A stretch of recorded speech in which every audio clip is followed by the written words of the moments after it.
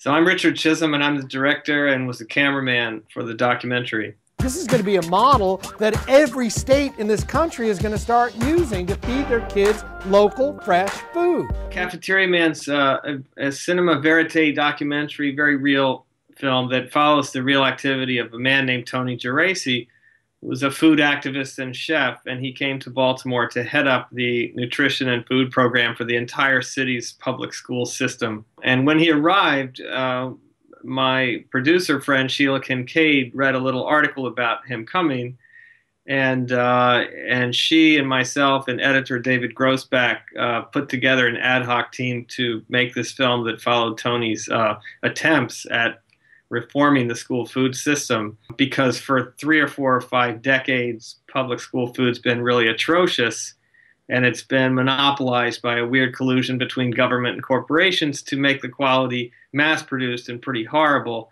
while people are making money off of it. And as parents, we send our kids to school and think, oh, it's USDA approved, I'm sure it's fine.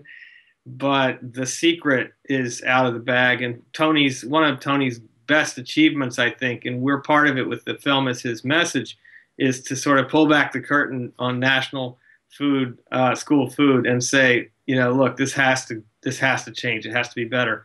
I mean, this, by the way, is a story that's going to take 30 years to tell. This is only the first couple of years of this transformation, not just in Baltimore and Memphis, but everywhere. It's all starting up everywhere.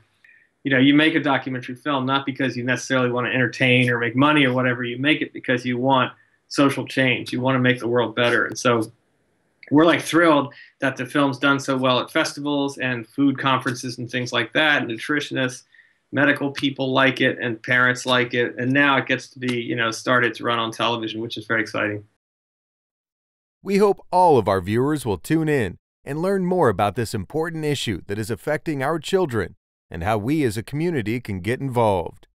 Cafeteria Man, airing here on Free Speech TV.